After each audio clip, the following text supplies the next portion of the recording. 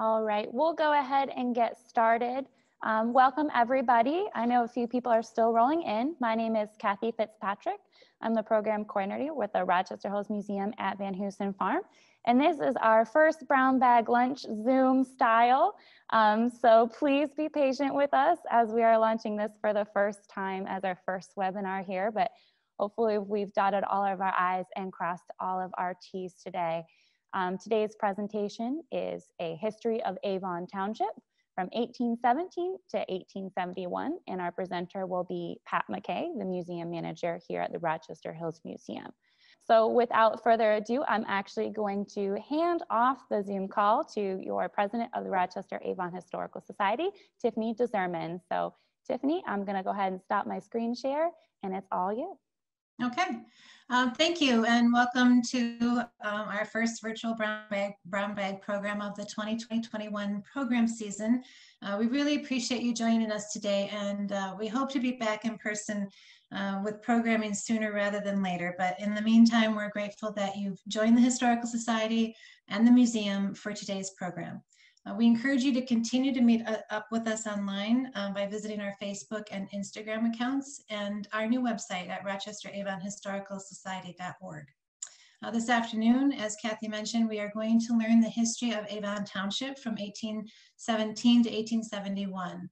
Uh, this program looks at our earliest history, interactions with Native Americans, the organization of our local government, land sales, daily living, log cabins, and of course, water-powered mills. To help illustrate the era, we will show you artifacts from the museum's collection that tell the tale of our hardy settlers and the Native Americans who were here when they arrived. So I'm pleased to introduce today's speaker, Museum Manager Pat McKay. Okay, I think everyone uh, is tuned in. This is Pat McKay, and it's really great to see everyone again. It seems like it's been a long time since we've been able to meet in person. And we're honored to do this program uh, with the Rochester Avon Historical Society. We both really have the same interests. We, we love our community very much and we love talking about the history. And it's a history that we can tell that not every single community in Southeast Michigan can tell. The broad stories that we get to do in uh, Rochester Hills. So the 1817 to 1871 period is, I'm gonna try and kind of wrap it around so you know exactly what we're talking about. You know, before 1817 is when, you know, the Native Americans were certainly um, more prevalent here. Um, 1817 is when those white European settlers started arriving. So we're really telling the story starting at that point. Um, no, no, try not to you know, um, forget that the Native Americans were here and had been here all along. And certainly there's lots of interactions. And we will at some point have some new exhibits here when uh, the museum opens again and we'll have a chance to, to talk about the Native Americans and their influence in this area. The 1871 time period is when we started transitioning for the first time from an ag totally agricultural society to starting to understand that um, our markets were a little bit bigger because in 1871, that threshold, a thing that happened was the train came. And when the train came, suddenly your customers were no longer your next door neighbor. It was a person who lived in New York City. So you could live in Rochester Hills and um, your customers were in New York City. And and things could happen. You could suddenly in Rochester Hills or in Avon Township, you could start having oysters for dinner and for special events because you could get fresh seafood. So um, the other thing I, I, have on this front slide is that um, because we use the word Avon Township, for those not familiar with our community's history, in the 1980s, Avon Township incorporated as a city, and that's when they voted and then and they selected the city of Rochester Hills as the name. So as we talk about Michigan's road to statehood, these maps start showing how how it all how it all changed with um, in in Michigan. We on the round screen. Okay, start there. the the big part of um, of Michigan's history was um, really right after the Revolutionary War, and when the Revolutionary War ended, that's when the Northwest Territory. So you see, number one is the Northwest Territory, kind of um, Northwest Territory came to, to be. And, and the Northwest Territory um, was established and, and, and what, they, what the leaders in Congress said was that we were gonna do things a little bit different than we did for the 13 original colonies. We're gonna have it all surveyed ahead of time. We're gonna set up a township system where townships are six miles square. So six miles or 36 square miles, six miles on each side. And so you start, you start seeing how um, the Northwest Territory and all the states of, of Ohio, Indiana, Illinois, um, Minnesota, Wisconsin, and Michigan all started coming into shape. Um, Michigan's challenge, and so you start understanding we're number six. You see, Michigan is 1837. We were behind Ohio and Indiana and Illinois, and their population, you know, um, grew a lot faster than ours. And the question is why? Why? Why did their population grow so much faster than Michigan's? I mean, we were on the Great Lakes. Um, people should have been able to get here, and I'm going to talk about that in a second. It's um, that's how some of the the first surveyors, you know, they came here to survey Michigan and the reports were not good. The other challenge we had is that Ohio was a state, Michigan was not a state. And we did have this little territorial dispute over Toledo. And um, when you really research the history, Toledo, in every sense, in every legal argument, belonged to Michigan. It, it obviously was. John Quincy Adams really, he, he had been president, he was now in Congress, and uh, he said he had never seen an instance where the group that was so right uh, ended up being so wronged. And Michigan, while disappointed they lost the port of Toledo and all the manufacturing uh, um, that Toledo was able to provide, did end up with the Upper Peninsula and billions of dollars in iron ore, copper, and timber. So I think we, we did just fine asking somebody from Michigan with no uh, offense to anybody from Ohio. I know Kathy's from Ohio. Um, there's a couple interesting stories here when we talk about um, um, the surveyors. Edwin Tiffin was a surveyor general for the United States. And so I have to read a few of these things just so you understand what, um, what he, was, he was being given. They, Congress had set aside 2 million acres and they wanted to reward um, in the Northwest Territory, remember after the Revolutionary War, they want to reward the soldiers from 1812. They, they needed to push the people into the West. And uh, in a long term, we wanted to get to California, but we had to settle the Midwest too. And so Congress had set aside millions of acres of land. Uh, we were a land rich, cash poor country at that point. These wars are expensive to run. And so they set aside 2 million acres.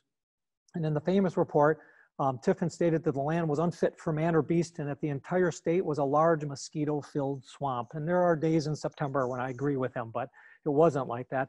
Uh, the result of the report was that Congress did remove the 2 million acres of land in Michigan and instead they gave them to the land, um, the land in Missouri. So Missouri and Michigan have been tied together a couple of times. We both came into the Union at the same time. Um, Missouri is a part slave state, Michigan as a free state. Um, in 1816, uh, the, the, act uh, even talked about um, they didn't want the brave men who had periled their lives for their country should not be wronged and insulted by the donation of lands of which, according to the surveyor's reports, not one acre in a hundred was fit for cultivation. So the rumors about Detroit were not good. Um, and their biggest um, you know, problems were uh, malaria and typhoid fever. And then the little rhyme that went at the bottom of the page, don't go to Michigan, the land of ills. The word means ague, fever, and chills. So, I mean, if you were the if you were a pioneer looking to finally expand your horizons and increase your lot in life, would you would you come to Michigan? And oh, I'm not sure I would either. And it wasn't until the, um, the surveyor started getting some reports from Native Americans who talked about they talked about the swamplands around Detroit. And boy, it's hard to understand that because nowadays we call that Ferndale, Royal Oak, Southfield. You know, those, those are the cities that were in these swamp-filled areas. And they talked about the oak lands north of Detroit. You know, and if you're a surveyor and you're a pioneer, you know what oak trees, you know, when you hear about oak lands, oak trees don't grow in water. They like their feet dry.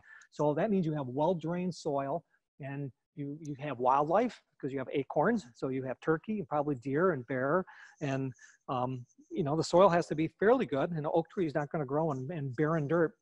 And so it wasn't until they got around the, the, the swamps north of Detroit that they started finding the oak lands and this beautiful cultivated land that, that, that they were going to be able to survive in. So, so then the question is, you know, once Michigan does start opening up, how do you get here? Um, and, and, and, the populated areas of, of the United States was upstate New York.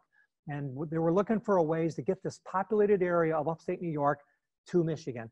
And I always say the greatest event that ever happened in Michigan happened in New York, and that was the opening of the Erie Canal you know, started in 1817, they finished in 1825. So put this in perspective, the, the canal is 363 miles long, it's hand dug. That would be like going from Rochester, Michigan to the Mackinac Bridge and then another 100 miles north. So when you start putting it in perspective that they were able to dig that canal that quickly, it cost $7 million and within three years they had recouped all the funds. And as we know, the Erie Canal was a, was a great success. Um, the governor of New York who, coordinated it. His last name was Clinton. And so you start seeing um, Clinton County, Clinton River, all those, that it was, it was the, the um, influence of the Erie Canal and how important that was. And so as we start looking at the Erie Canal, it's going from the Hudson River way off to the right. Um, I don't know, yep, here you can see all, this is where it's starting and it's, it's going all this way through the Finger Lakes. You can see how why they call those the Finger Lakes district of upstate New York. And it's trying to make its way all the way to Buffalo and into Lake Erie. When you look at um, the names that the Erie Canal was following, you see names like Rochester, Utica, Troy, Canandaigua. So my, my first trivia question, Kathy and I are gonna try to figure this out. Canandaigua, does anybody know what town Canandaigua, what's the, uh, it's got a new name today, but it's a town nearby, nearby the Rochester area. If you know what Canandaigua, what your, what the town is that we call it today, um, um, type it into the chat box and uh, Kathy will see if anybody gets it right. She does know the answer. Um, but for most of these pioneers that coming, this is a one-way trip. They're not, they're not going back. Um, they're selling their land for $4 an acre in upstate New York and they're buying it in Michigan at $1.25 an acre. And that was only after, after the US government kept dropping the price of the land down to $1.25 an acre with a minimum purchase of 80 acres. So if you do that quick math, that's 100 bucks must have sounded like all the money in the world. And boy, it was Michigan fever at that point, um, in, in, in, a good way.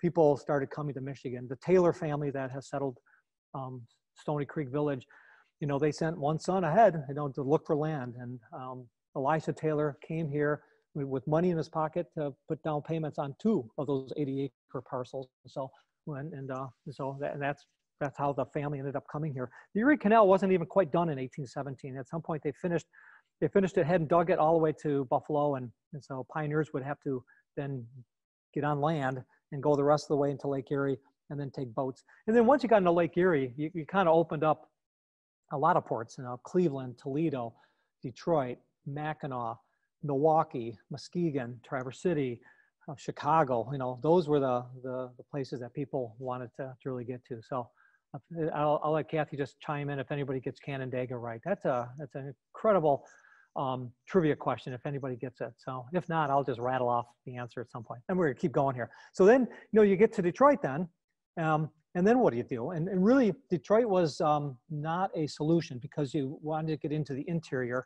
And remember, it's all it's surrounded by swamps. And, and so was Toledo. No, Toledo was called Frog City because the swamps were so bad. And so for, for most people penetrating into the interior of Michigan from the Great Lakes on Lake St. Clair and Lake Erie, they're coming to Mount Clemens. So you see why Mount Clemens, why Macomb County was settled before Oakland County was, because that, that's how they had to penetrate in.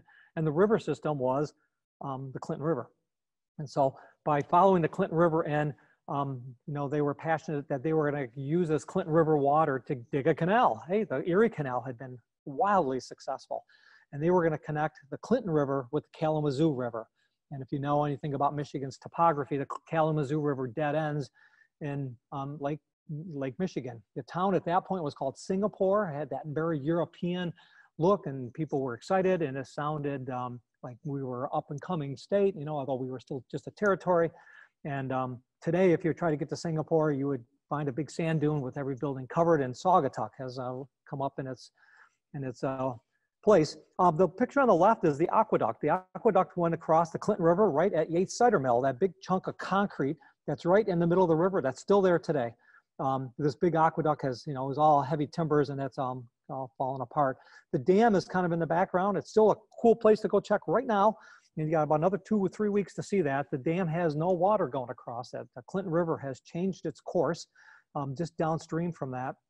And uh, the U.S. Fish and Wildlife Service, the oh, they've got all kinds of uh, players in there. They want the water going over that dam because it, it serves as a, a break for invasive species.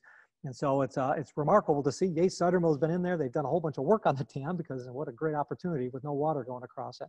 But um, the, um, the Clinton Kalamazoo Canal was this going to be this fantastic um, system. And um, you realize too that we did elect our first governor of Michigan was 23 years old. And, and I'm not always sure 23 year olds are the ones who should be leading a brand new territory as we try to become a state. He's also trying to negotiate with Ohio um, to get Toledo, and he's trying to do a whole lot of interior uh, improvements in the state of Michigan. The very first public improvement project in the state of Michigan was digging the Clinton Kalamazoo Canal. Um, and, and, and, this is what they said in their report. At this date, there is no doubt in the public mind as to the superior advantages of canals over railroads in the country on the immediate line of improvement when heavy and bulky articles are to be transported. For the convenience of passengers, Michigan has now three railroads in progress running across the state, and this canal will do all the heavy transportation to and from the navigable waters of the Grand and Kalamazoo rivers. This improvement will place Michigan before any of her sister states in the work of internal improvements, early and wisely conceived and vigorously prosecuted for the benefit of her citizens. And you can see a canal note from all the wildcat banks. And let's just say that those banks didn't last very long. So groundbreaking was in 1838, and you'll see at the end it was abandoned by 1848. Those darn railroads that they talked about, those were faster to, um, to build, cheaper to operate, um, and they, but they did, they did, uh, you know, cut quite a bit, about uh, 16 miles, I think. Uh, I know Debbie Reamer is listening; she knows the answer to this question. Um, but they did dig, and they ended in in the Rochester area. And I say that because I'm not exactly sure where. Um, you could probably say somewhere underneath the South Hill Bridge is about where they ended. But we are finding structures as far as Rochester University, all the way up to um, Avon and Livernois, um, back in there. So I, I've hugged these woods with Debbie many, many, many times, and um, we have some programs coming up this fall where we're talking about the Erie Canal too. Um, you know, they, and they were they were struck with a lot of problems. In 1838, you know, they, Michigan became a state in 1837. 1838, they start this first public improvement project. In 1839, we go through our first major depression in the state. So this, uh, you know, we, there was challenges right off the bat. You can uh, imagine for all the challenges we all feel like we face right now. Boy, history shows that we have overcome these challenges before and we will again. Um, but it must have been exciting when the canal boat did reach Rochester. Um, it wasn't big, you know. It, it, the Erie Canal, I, I, show some of the dimensions. It was 70 feet wide and seven feet deep. The, the um, and you can go four miles an hour. The Erie Canal was, or the Cal, Clinton Kalamazoo Canal was not. It was only 20 feet wide and four feet deep. And it was, and also the barges are being towed, probably either, I, I most likely probably, probably by mule, not by oxen, probably by mule. They were probably a little bit easier to operate and, and uh, as a species of animal that were strong enough to pull them. Um, there are reports, of course, that the first canal boats uh, celebrating this opening of the canal, really between Rochester and Utica, um, was celebrated. And as the canal boat got to the aqueduct, it was about three inches too wide and it never made it across. So I always wonder if the woods around Rochester have canal boats, you know, out in there somewhere. Um, the, the, the, second challenge then, if, if, if canals aren't going to work, are interior roads. And, you know, both corduroy and plank roads were constructed in Rochester. The corduroy road is a round log that's just pounded shoulder to shoulder to shoulder with all the other logs. So you imagine it's a bone rattling, teeth rattling ride. But your option is just going through mud. And uh, the plank roads were a little bit better. You know, the sawmills at some point started running, so you could cut this wood, but but even a plank road wouldn't last for long, not in a not in a Michigan winter. And, uh, and then you say, well, were there in fact plank roads in, in Rochester? And sure enough, here's one of the receipts. This is a, a receipt that Rod Wilson um, has uh, come about. The Royal Oak and Rochester Plank Railroad Company. The tolls uh, for this one were located where Leader Dogs for the Blind is located. And the tolls were based on the number of oxen or, or yes, there's oxen that was pulling your load. And if you look at the second and right up in here, you can see the date there, 1850 something. So um, and this is what they were generating on, on tolls. And there were many toll roads. I would hope that we don't ever go back to toll roads again, because um, I think they were about every mile or two miles, which meant that you didn't really go five miles away. Your your customers were less than a mile away, and that's that's that's how we lived. So you can complain about. I think so. I think the point is, is that we've complain, been complaining about roads since about 1818 in the Rochester area, um, and then you know imagine they they finally have to find the land. They have to get here they finally make it to Rochester, and then you have to clear that land. And um, you know, we know of northern Michigan really with their pine trees, and uh, you know, the thumb of Michigan had the cork pine, which were the very best white pines in the world, and um, and then the, the, whole northern part of Michigan was the pine trees that grew perfectly straight with few branches, and it was beautiful. And in our area, really, we had, you know, we talk about the Oakland County, oak, the oak trees and the oak forest. And the picture on the lower one is down by St. Andrews on, uh, looks like they're clearing Terry Street, which is, goes right into, right near St. Andrew Catholic Church. Um, but to, to, imagine you've got to clear that land before you can plant your food. So when the pioneers are coming, a lot of times they're coming in, in early uh, March and April, and they're actually trying to get here before the frost is totally out of the ground. They need the ground to be hard because um, their wagons otherwise get stuck in the mud. And so um, they're trying to get here, and they're probably bringing enough food to last a couple of weeks, but then they got to get a crop in the field uh, as quickly as possible. So like right now in September, they're harvesting that corn that they planted. For a lot of them, they probably couldn't cut the trees down and remove them. They probably just girdle them, took all the bark off, let the tree die, and then started planting corn around there. And they would get to removing those trees at some point. But they also, of course, needed housing and, and all that. So they were going to get to that um, at some point of removing everything. The other challenges they faced were um, the diseases that were rampant in, in Detroit. Cholera came to Detroit six times in the 1800s.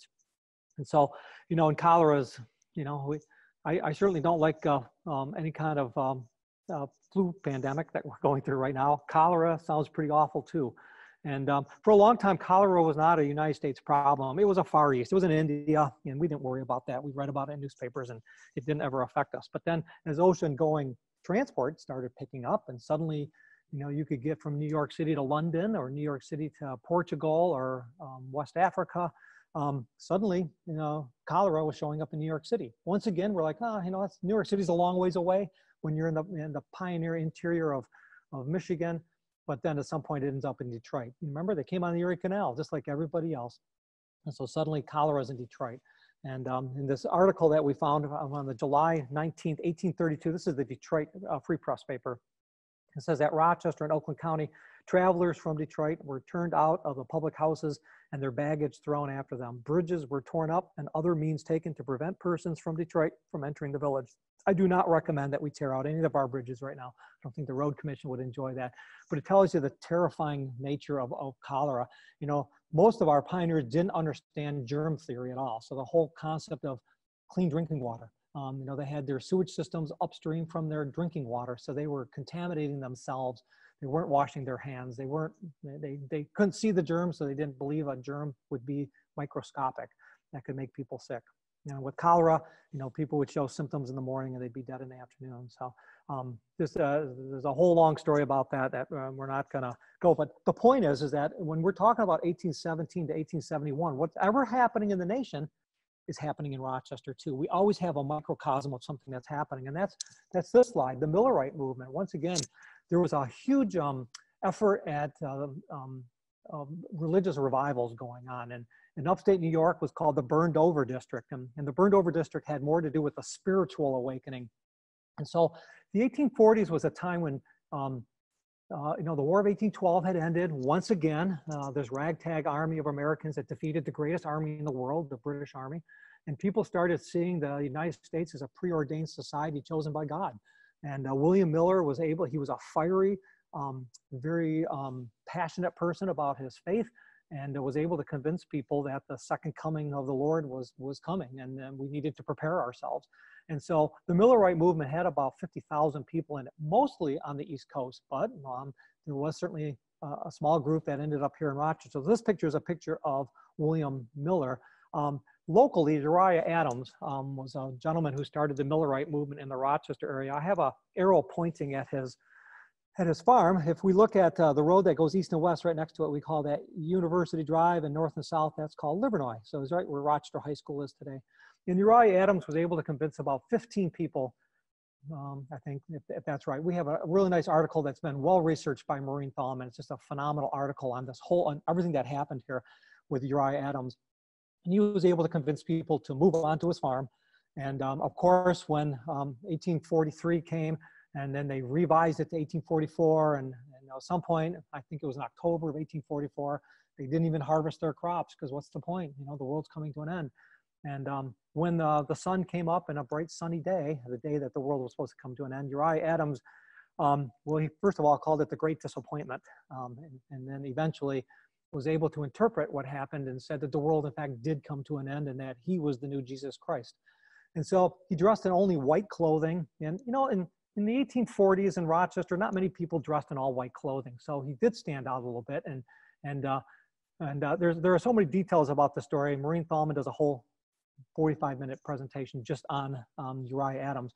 And so I don't want to go into too much detail here, but at some point he ended up at Jackson State Prison without giving you any more details. And um, at some point he is, um, you know, he's released and he's buried at Mount Avon Cemetery. And uh, one of the, one of the people we talk about and um, the people who were leaders in in the community. And uh, sometimes leaders go in a dark direction. Um, the other um, very popular, and I would say probably still so today, is uh, Freemasonry, you know, the Masonic movement. Uh, you know, it's a worldwide um, fraternal organization. It's a men only um, organization. The women belong to the Order of the Eastern Star, so they're brother sister organizations. And even in this picture, you'll see a picture of George Washington, who was a Mason, and he's wearing his um, his apron, and uh, all the medallions around his neck are all have to do with masonry. And so all these gentlemen, I think um, of the first probably 25 US presidents, probably 20 of them were, were Masons. Masonry was a, I always say that I, I, I probably interpret it more as a, a, fraternal organization as a way for people to get together. It was the Twitter, Facebook, Instagram, text message, email, phone call way of communicating with people and, and having, you know, when you're, especially when you're in very rural areas, um, and these fraternal organizations were important. I think in Rochester, we've counted 270 fraternal organizations um, over the last, since our newspapers, um, you know, since the 1870s. Um, so this is a town either that loved to party or they, they were desperate for connections with other people. It's, it's just like what COVID has done to us, where you just want to be with your friends again. Um, and that's what Freemasonry, because they were so isolated. Um, and so then you say, so how important was Freemasonry in the Rochester area? Well, the very first Masonic lodge in the state of Michigan was here in Stony Creek Village. So it's really um, amazing how often our town is at these crossroads of, of major events taking place. Um, I, I, show a picture of the, of the uh, monument up here on the hill. That's right behind the museum. It's called Mount Moriah or Masonic Hill. We have a state historic marker on our property. It talks about it. And the, the, when that building was finally taken down, the, the wood and the stones were used in a giant barn that Joshua Van Hoosen built on this property. It's our big 101 foot barn that Joshua did. Um, in the 1840s, um, there was a, uh, there, uh, 1820s to the 1840s, there were the dark days of masonry where you couldn't meet. And they did, uh, locally in Rochester, they secretly met in this house. It's on 999 East Tienken Road right here in the village of Stony Creek. Um, and that's kind of what it looked like, and this is what it looks like today. You know, in the days when shutters were actually closed to protect the glass. We say this is one of the very earliest wood-framed buildings in, in the Rochester area, 1827. So we would have had our lumber mills um, running. And so then we start looking at um, what else was going on. And in the industry standpoint, it was mills. And every one of these mills we talk about were all built between 1817 and 1871. And I, I, and I want you to really focus on that because in a minute I'm going to talk about all the schoolhouses. Every schoolhouse was built between 1817 and 1871. So this time period is what has launched our community forward. And it's and it, it's everything that happened. You think about this now, 140 years ago. Um, so you can see where all the water-powered mills are. And as you follow this east to west, so this is the you know you start seeing these are all the these what these squares that you see here are all part of the township system. They're all one mile square, one mile by one mile and so this whole township of Avon Township is 36 square miles. Um, um, and so today Rochester Hills is about 32 square miles. Um, this little uh, area you see kind of outlined here is really where Rochester um, is the city of Rochester inside of Avon Township. And so they have uh, about three or four miles, square miles now. But all the, the mills, of course, are located on water. We, they had to be moving water. That's where they get their power source. So east and west, we have the Clinton River, and north and south, we have Stony Creek coming this way, and then Paint Creek coming out of out of Lake Orion. Hey, um, Kathy, did anybody figure out Canandaigua? Is that? I don't know if we. Okay, all right, we're still talking about Canandaigua. Um, and so you can see the number of mills here. And um, so it's just significant because we have three water sources. And so when I say, well, why did people move to Rochester? The water, water, water. Paint Creek, Stony Creek, and the Clinton River. And so, you know, so here's some of our mills. You know, you look at these mills and these are enormous structures and, and imagine the number of people that needed to work here. And what did they take care of? They took care of the three things I worry about every day. no food, clothing, and shelter. But then we had a paper mill. We had one that processed sugar for sugar beets and silk. You know, they planted mulberry trees. If you've got a wild mulberry tree somewhere in your yard where you enjoy the berries in June, very well could have been brought here from the uh, the efforts to try to have a silk industry in the Rochester area. You know, in the lower right corner, you see Yates Cider Mill. That's the only one left. Well, we have Western Knitting Mill, where the Rochester Mills Beer Company. You know, it's been converted and adapted now into uh, uh, different uses. Um, but between that one and Yates Cider Mill, of the 34 mills I think we talk about, there's only two left, which is really, um, you know, it's it's a sad thing, but you understand how important water would have been. And Yates Cider Mill is easy. You know, it's fun to talk about, especially now. I think they open this weekend uh, to pressing cider. Um, I haven't tried a cider slush. Let me just throw this out there. That, those are those are really good. Um, but you know, we know Yates is a cider mill. It was a sawmill, and it was a sorghum factory, and it was a whole lot of other things, and just kept adapting and adapting and changing their their business model until they nailed cider. And, and cider was a, a phenomenal drink because the water was contaminated even in the 1850s and 1860s. Um, you couldn't just go take a scoop of water out of the Clinton River and drink it without uh, being contaminated or being sick then. And so cider became a very significant part. Um, this lower picture I just put in here, that's the original uh, Rochester Woolen Mill where the um, Rochester Mills beer company is today. And then within Avon Township, you know, we're probably all familiar with these. You know, we have the village of Rochester and um, and the village of Stony Creek. And, and out here, when you look at the, you know, a big chunk of our map, all these little tiny square dots are a house. So there's a house like every square mile. Nowadays, you know, we have about uh, 12,000 people per square mile. And in these areas of Rochester and Stony Creek, you can see how it's just hashed. Um, and it's because they were so heavily populated there. The rest of the township was very rural. You know what? And it was very rural until the 1950s.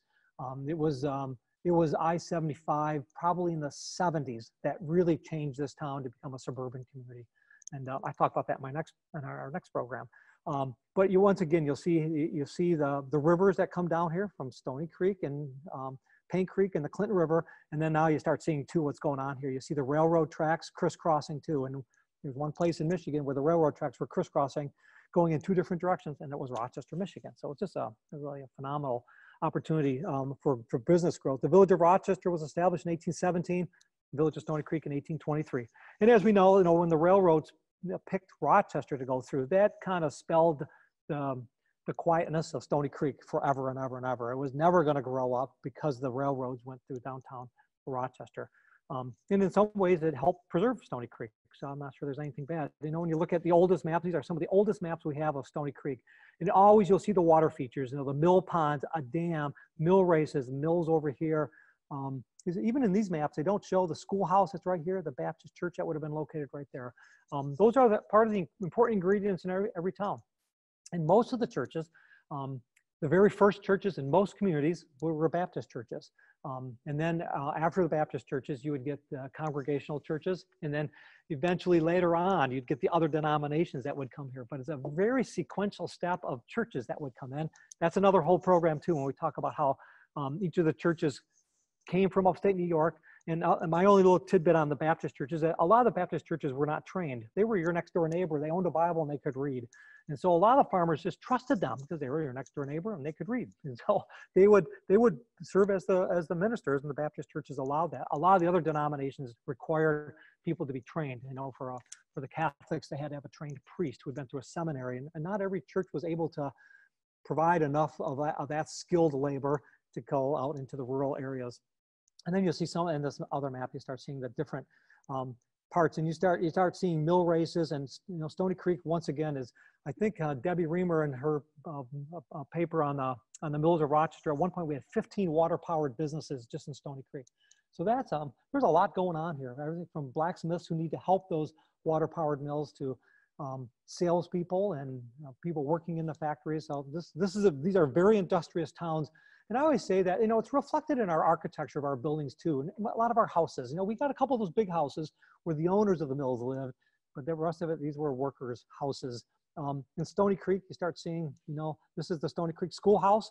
Uh, before the 1952 addition was put on, we, we recreated that um, outhouse or exactly where it was once located. Um, this little log cabin was located, was called the Tice log cabin, T-I-C-E and it was located on Tienken Road. It was the last log cabin that we know of in Stony Creek Village on Tienken Road. I already showed a picture here of the of this home. We, some, a lot of it known as an Eberline home or Nathaniel Millard home. It's um it's just a, a, a stunning structure, and it's just really one of the most beautiful buildings I think that we have in our community. Here's other buildings just in Stony Creek. Um, you know, we had a tavern located here. At some point, you see railroad tracks going along the front of these buildings, right on Tienken Road. And here's Tienken Road. Um, this big mound you see in the background, that is Stony Creek High School today. And you say, well, wait a minute, where'd the mound go? Well, that mound is full of gravel. And so when the interurban line, which is this, this is not heavy rail, this is light rail. So this, that's why you see overhead power lines. Um, and that, so this, this train for the most part probably hauled all that gravel to build roads all over Oakland County. And when that hill finally disappeared, it was a gravel pit up until Stony Creek High School was built. And uh, the, this house, uh, this house right here is still standing right there at the corner of Van Hoosen and Tienken Road. And the mill here was taken down. Uh, my understanding is that Henry Ford had people take it and take some of the gears and take it to some of his other uh, manufacturing um, operations in Southeast Michigan. You know, then, then we're gonna switch over to that other community I talked about, Rochester. You know, founded in 1817, became a village in 1869, a city in 1969. And we, we know these buildings, you know, we've, we've looked out in front of them and, you know, some of them, this one is still standing right across from, this is the meeting house, right across from the home bakery. Um, some of these buildings, of course, uh, now if they're a wood structure on Main Street, they're gone. They've all burned to the ground. The last wood building left on Main Street is Chomp. And Chomp is a restaurant around the corner of Second and um, Main Street, and uh, it was owned by Governor or uh, Senator Gary Peters. It was uh, his uh, one of his great great grandfathers ran a painting business there. But um, you can kind of see what Rochester would have been. We would have seen horses and we would have seen oxen um, throughout there. And then you know we talk about our churches. Um, you know the Congregational Church built in the 1850s, and you know all those denominations of churches are still here. They they're just not on Walnut Street anymore because Walnut Street, you know, as as our population grew, the churches got landlocked in, and so you know, each of the five or six churches that were located on Walnut Street have, have, relocated, but they're all still right here in our town. So, and then what you'll see on Main Street nowadays are brick buildings. You know, you don't hear about a lot of fires anymore on Main Street. Um, education became, um, all the roots of education in Rochester happened between 1817 and 1871. And uh, we have just um, kind of confirmed a few things with the, with the Rochester Community Schools, and it looks like they're celebrating their bicentennial next year. So that's kind of exciting. And, and I'll, I'll show you some pictures coming up here in some of the one room schoolhouses. But here's with the, today being the first day of school, look at this first day of school right there. Doesn't that look like a fun place to go? Um, you know, you, I think for recess, you have to go milk the cows or something like that. But um, um, it all it all started, the Graham family is the one that came here. And, you know, it didn't take long for this um, community to, to really start growing. And boy, they, in, in, as part of the um, surveying of every all these townships, the, the section 16 of every single township, the, the proceeds from selling that land had to be used for education. So education was the most important thing in these communities. They, they, it was, you know, before even talking about churches, they were working with schools and they would build their house and somehow scrape together a dwelling. They built a school as quickly as possible. Even the Stony Creek School is a really cool school to look at because built in 1848 and that replaced the building before it that burned the ground. And so they just they rebuilt it. It was they were across the street from each other. But education, education, education, and, and boy, isn't that the case today too? We still talk. I mean, how often are schools in the forefront of what we talk about every day? It, it, you know, roads and schools, I say, are probably the two most significant, most complained about um, um, items on any agenda, but they're the most important. You know that without those two, everything kind of crumbles all around it. So it's kind of nice to know that in Rochester, we've taken our schools pretty seriously. Enough, and you start seeing all the one-room schoolhouses. You know, most kids only walk to school, you know, a, a, couple of steps. They didn't have to go, they didn't have to go five miles away. They didn't have school buses. And you start seeing all the, the different schools that we had and their names, you know, and a lot of them, you recognize these names, the Brooklands and Hamlin, Christian Hill School, um, Ross School is still standing. It's at the corner of number eight, Ross School. It's actually called Ross School number seven. Um, and that was located at the corner of Brewster and uh, Tienken Roads. And that's still standing there. In fact, that's the building right there. Uh, yeah, the, the cupola is not there on the top anymore, but all this is exactly there. And it's, it's one of the only cut fieldstone schoolhouses in the state of Michigan. It's eligible for a state historic marker. And uh, we just haven't circled around back to that. We just got to work with the homeowner there to, to make that all happen. Um, there's a couple other schools that incorporated to become part of the Rochester Community Schools, and that was in the 1950s. In the 1950s, boy, every, you know, that's my next program, remember? Um, next uh, month, we'll talk about the you know, the, that 1871 to 1952. And then I think I kind of end it in 1952, the controversial issues of school consolidation. And they said that the two most controversial issues in American history have been slavery and consolidation of schools. So that tells you how significant those two issues are and how passionate people um, have been and are, are concerned about those. Um, other events, you know, in, in, this time period is the Civil War, you know, and then uh, were we affected by the Civil War? And this, we're just a little tiny rural town, 25 miles north of Detroit. Well, certainly we are. Um, you know, we sent we sent uh, probably a third of our men eligible to fight you know, to the Civil War, and we sent our only commissioned officer was Sam Harris. And Sam Harris, on the right here, you'll see this is the building where he attempted to, with, with a large number of men in cavalry units, they tried to get in there to free uh, all the other Union officers that were imprisoned there. Sam Harris was captured and uh, was wounded as part of this and was sentenced to hang to be an example to other Union officers that were trying to pull a stunt like this. And uh, because of his kindness to a woman um, who was a, a woman whose husband was fighting for the Confederacy. Um, her correspondence to her best friend ended up being um, the wife of Jefferson Davis, the president of the Confederacy. And he commuted his sentence and sent Sam Harris home, and he lived. Um, Sam Harris went on to be a very successful businessman. Um, is buried in Mount Avon Cemetery, and uh, donated a drinking fountain that's located right next to Rochester City Hall, right outside the, the police department. Um, doors and uh, it's a it's a it's an unbelievable incredible story that happened here because we raised young men who are kind and compassionate and and I got to believe that we're still doing those things today. And he was he was a good guy, and that's it's a great story. You know, other stories we talk about and changes in agriculture during the Civil War was this. Um, first of all, everybody had a job. You know, they, they were desperate for work and desperate for looking for people to help, um, and they came up with all kinds of innovations and new tools you know, it, it had, you had to be more innovative because uh, you had such less manpower and the elderly and the very young all became workers. Um, this farm up in the upper left is the, the Ross farm at the corner, also at the corner of Tienken and Brewster, so across the street from where the schoolhouse is located. So we'd be like the southeast corner. And uh, there's still a couple apple trees right on that corner if you look carefully. Um, and on the right, this is a picture actually of Ferry-Morse Seed Farm. So it's a little bit, um, it's a little bit uh, newer picture. Um, moving on as we go into agriculture, let's talk about sheep. You know, the first 60 sheep that came here, you know, when they, they wanted to start a woolen factory, and so there was the Rochester Woolen Mills. That's where the Western Knitting Mill and the Rochester Mill Beer Company is. Um, and, and, you know, sheep weren't roving wild in the woods. You had to bring them with you on the Erie Canal. You had to put them onto a steamship across Lake Erie. You had to get them onto canal boats or march them through the woods through from Mount Clemens to Rochester. And then in one night, 40 of the 60 sheep are killed by wolves in Rochester. So it tells you something about what kind of town this was. It was a very rural area, and I'm sure everybody was packing heat, and I'm sure everybody had a gun. There was no reports ever that a wolf attacked a person. But when you have 40 of your sheep being killed in one night, you're you're you're careful. And these sheep were in, in stockade pens. Um, and then you see this, the second bullet point is probably the most unbelievable one. From 1850 to 1900, there were 100,000 sheep a year in Rochester. And I'm gonna guess right now, that there's not one. Um, there's not one sheep in Rochester, and that for 50 years we were raising 100,000 a year, and that's what kept these woolen mills. So you wonder where the wool came from? It came from a mile down the road. Um, the other issue we had besides wolves, of course, wild dogs. And so when we look at the old minutes of Avon Township, you know, the issues with groundhog, it was not safe to be a groundhog or a wild dog. They, you could shoot those on site. If you saw one, you, you, you killed them right away. And you could turn in their their pelts and uh, the township would pay you back.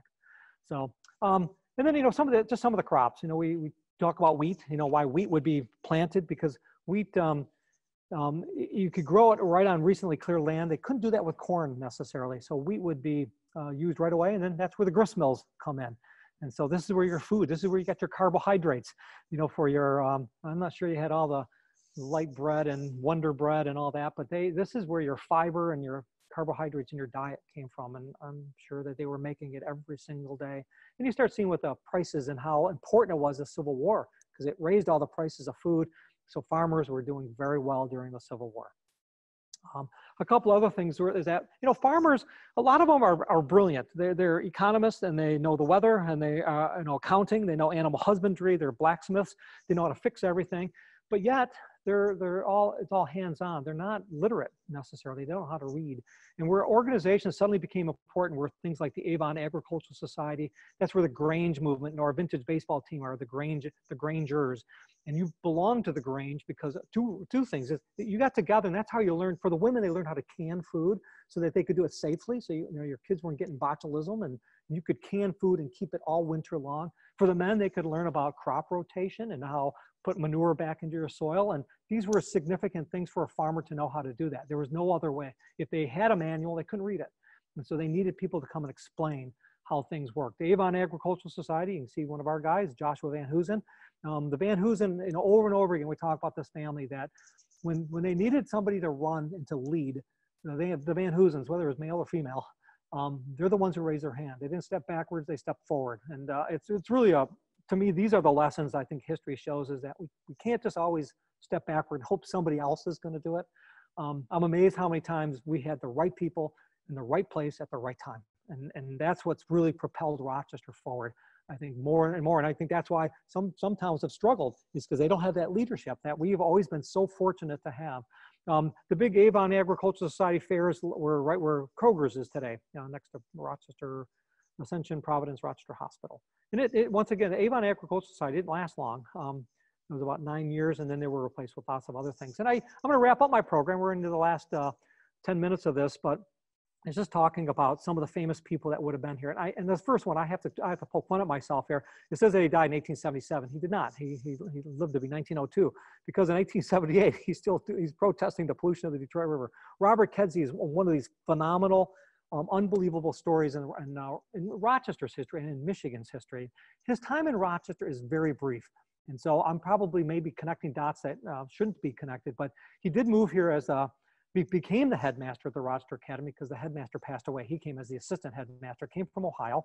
Um, all the great leaders come out of Ohio. I'm pointing at Kathy now to see if she's listening.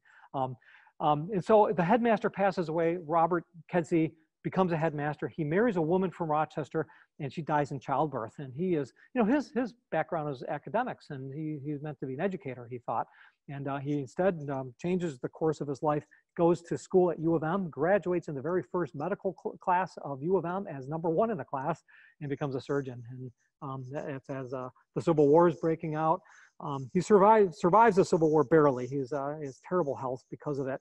He does not come back to Rochester. So his time in Rochester is brief. He ends up in um, in the Lansing area. I've actually lived in a town called Vermontville, which is outside of Lansing, still there today. Um, he becomes a, a, a, a, professor of chemistry. Um, for 39 years, he taught at what was then called Michigan Agricultural College, um, and he was passionate about chemistry.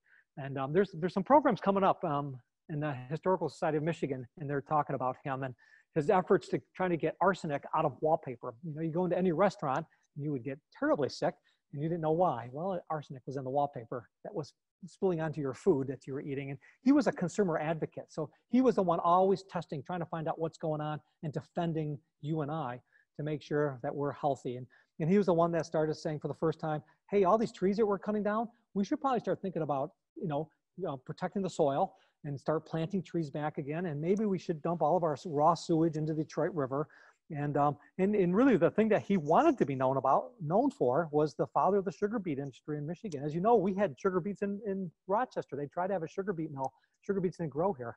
It was a, it was a colossal failure. And it was after, it was right at as he died um, that that sugar mill started here. The sugar beets in Michigan grow up in the thumb of Michigan.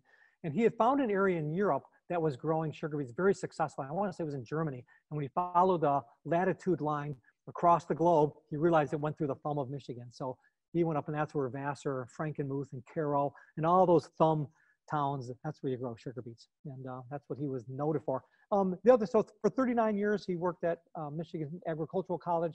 Um, I think three of his sons were chemistry professors there. His son Frank was the president of Michigan Agricultural College. And if you go to Michigan State today, Kedzie Hall is there. It's the very first building in the United States built for chemistry at any university. And they named it after Robert Kedzie.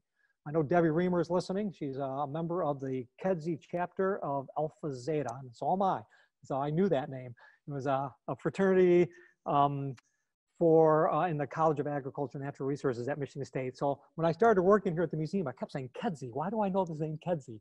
And uh, um, you know, in, you know, in Rochester, we are always fortunate to be able to tell a story about women leadership.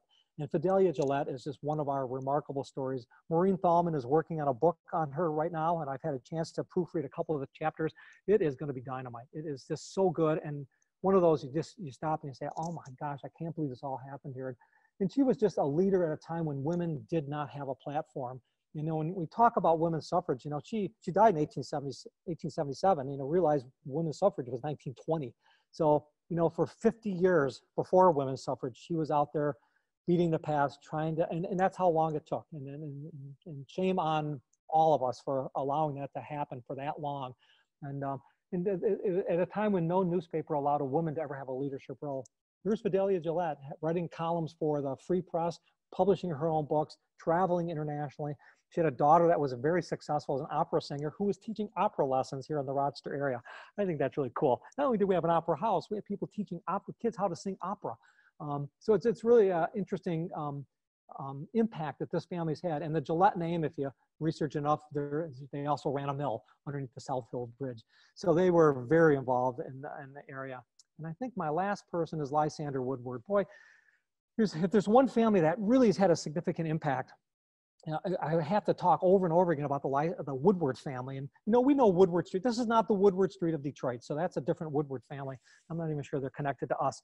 But Lysander Woodward brought the train to Rochester. He was a president of the train and uh, just saw the significance of that. And they just realized how, how significant the, the train was coming into town. But, um, you know, part of it is the impact he had on his family. Um, his son, Robert Simpson Woodward went on to be a, a, mathematician, was president of the American Mathematical Society, worked at U of M, at Cornell, um, worked for the Carnegie Institute. So he's hanging out with guys like Albert Einstein and Henry Ford and Robert Simpson. And his house, Robert Simpson Woodward's house in Washington, D.C. is a National Historic Landmark. His daughter, um, Eva Woodward Parker, um, never had children. She married a pharmacist from Detroit and they lived in the Rochester area. And her passion was literature and books. And um, at the end of her life, she uh, established an endowment fund to create a library. And it was originally called the Woodward Memorial Library, which then became, when, when uh, the township started providing more money, the name switched to the Avon Township Library. And today we call it the Rochester Hills Public Library. So it's amazing how often, even in Rochester, when we talk about women philanthropists, you know, it, it's great to have the Howard McGregors who have helped build hospitals and just do um, unbelievable things. You know, uh, the, the, McGregor family um, that provided the land for North Hill Elementary School and uh, McGregor Elementary School and the and Crittenton Hospital. Um, uh, the Woodwards, um, you know, uh, so Eva Woodward Parker is doing the library. You've got Matilda Wilson, who's donating land to build uh, uh, Oakland University. Sarah Van Hoosen Jones donated land to build Avon Players. So we have men and women philanthropists. And I think, once again, th those are the things that make a town successful. If we're just relying on government to buy and build everything, I think we're going to be sadly disappointed. But when philanthropy enters the equation and we take these great leaders and philanthropy and we put them all together, boy, towns just know how to flourish. And that's, I think that's the case of what's happened in Rochester. And we've just been very, very lucky. So next month, um, on the first, I think, uh, you know, my next slide, I think I said exactly what day, but we'll start talking about the next step in Rochester's history. So from 1872, when the train arrived, what happens? Um, you know, so it's not only trains, but it becomes the Detroit Interurban Railway. And Bob Michalka has just published a book. We were going to do a big shebang for it um, in March, and of course that never happened. Um, but it's, a, it's available for sale at the Rochester City Hall, and I would highly recommend it. It's a great book. Um, we'll start talking about baseball, this new fad that was um, coming into vogue in the 1870s. Uh, we'll talk about how World War One, World War II, suburbanization, and all the farms. You know, we, we talk about agriculture and those 100,000 sheep, but we had major farms, major corporate farms like Parke-Davis, Meadowbrook, Van Hoosen, Great Oaks, Ferry-Morse, where people were coming all over the world and they were coming to Rochester, Michigan. I'm not sure that was happening in any other town. We had these very significant significant farms that were located here. And then lastly, I'm going to give my last little, my one minute infomercial at the museum. You know, at some point we're going to turn into a major construction zone. I just wanted to let everybody know this. It's, uh, it's all good. Um, our city council generously um, approved two and a half million dollars to replace the entire roof structure on the dairy barn. It's uh, one of those things we, we had to take a deep breath when we started realizing um, probably some of the construction techniques of the 1920s weren't uh, up to the codes nowadays. And, you know, after much deliberation, you can imagine a, a decision um, provide two and a half million dollars. Um, you know, we moved out of there last September and have been living in uh, other quarters all around our, our property. But that work will have to start in September. In addition, um, our city council approved a million dollars for the equipment barn, and the city is putting up uh, $750,000 of that. The museum has to raise 250,000. We're about $30,000 short. You know, we've been doing this since the calf barn finished. We've been fundraising. So, um, so it's exciting. It's a little overwhelming because we still have to raise some money, but there, will be some new exhibits in the, in the lower level of the equipment barn. It's not going to be a heated building. So the lower level will be, um, we'll have um, exhibits that talk about STEM, uh, science, technology, engineering, and math. And we'll have artifacts out there that show how brilliant some of these farmers were out here. We'll also be able to open two of our smallest buildings that we open to the public for the first time because they won't have to be storage buildings anymore. So you're going to watch a whole new building um, being constructed and a roof being torn off of a building. And in that roof, you know, it's not just two and a half million dollars isn't just the, the roof and the shingles. It's uh, all of our furnace units are up in the attic. You know, it's Wi-Fi. It's all new lighting systems. We're not sure if the wood floors will get uh, damaged. We're not sure if the brand new carpeting we just put down will have to be replaced again. So um, hopefully the numbers will come in less, but we're also putting generators in now that will um, support uh, all of, all of our buildings and, and because all of our archives are located in there, the city's allowed us to be very sensitive to the responsibilities we take. And we take it all very seriously that we can provide this for our community and for years and years to come. So we're very excited about that. Our website has lots of programs coming up this fall from bike rides to walking tours. We're not doing a lot of them in the evening either. We're doing them during the day. Um, so if you can uh, fit that into your schedule, a lot of them are just one hour or one and a half hours. Um, we promise to tell you some some nice things and, and especially on these beautiful days that we have coming up here. So I'm going to turn it. I don't know if Kathy has any questions here. If she's going to take this away from me. Um, with that, so our next meeting is on Tuesday, October 6th at 12 noon. We do ask you to, to to register for it so we know how many people are out there. And if there's anything we can do, feel free to throw it out there in the chat. We'll get back to you if we can't do it right now. Um, otherwise, we will email it back to you and um, let us know how we can and help you out. And come by and visit. Our, our gardens are still spectacular for another month or so. Our pumpkin festival still taking place. So we'd love to see you all again. Thanks for um, sharing your afternoon with us.